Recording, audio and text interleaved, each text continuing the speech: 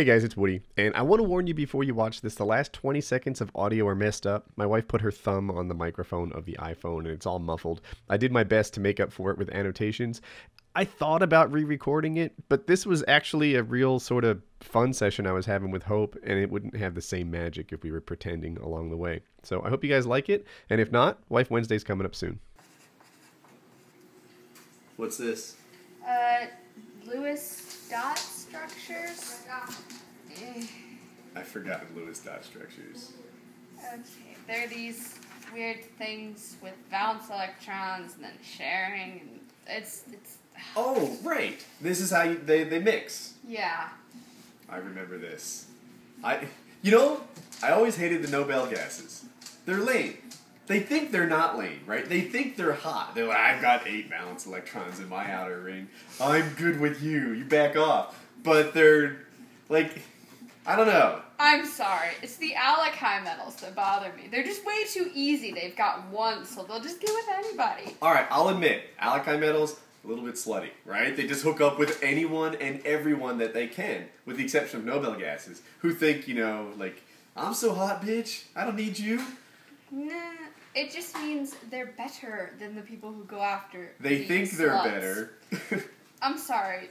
Would you rather just chill with the noble gases, or would you rather get with like potassium? Why do you pay a something? deal?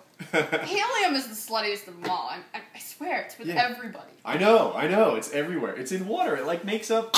yeah. Too much. But the thing is, the transition metals, hmm they bother me the most. Because then they've got the lanthanoids and the antisonoids, and I can't even say it, but you, they don't, you don't know how It's many not a very exclusive. Yeah, the three to Yeah. five thing, right? Yeah, it's not even slightly exclusive. It's worse than the alkali metals. Like, at least they have a home. Yeah. These are just like, I, I don't know what I am, so. They're just in the middle me. somewhere. Yeah. And then, then the ones, because they're like way too many in there, they shoved way too many in there. Right, they've got the whole expanded grow thing in They've there. got two more You know, though, rows. I'll take a transition metal over a noble gas. Noble gases are the lamest. They think that they're hot. I'm not so convinced that helium, argon. What makes you hot?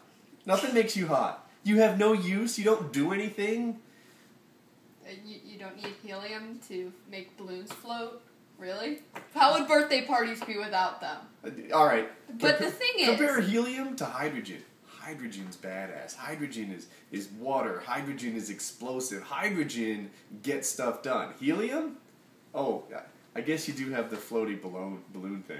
But the thing is, hydrogen, total slut. I mean, seriously, in all of, in almost then you all of mom- my dot structures that I've ever had to do, there's at least one helium in it. yeah. Even helium with itself. Like, whoa.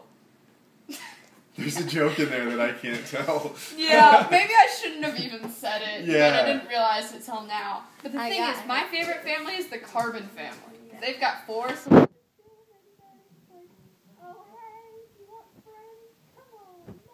All right, Colin, carbon or noble gases?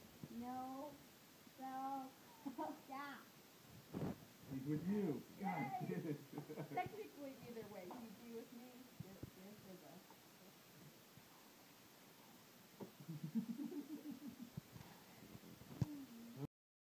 If you like this video, be sure to click like. I always appreciate that. On the left is especially good. My hacker's going to jail. Uh, It's like a cautionary tale about people who commit cyber crimes and you know this is the guy that stole my Xbox Live gamer tag, Woody's gamer tag. He stole it from me. I ended up getting it back. On the right is Tac Tuesday and it's my first game on Parish. So I talk about what it's like to play without an experience advantage over the other guys in the game. So check those out and have a good day. Oh, and if you're new, subscribe in the top right.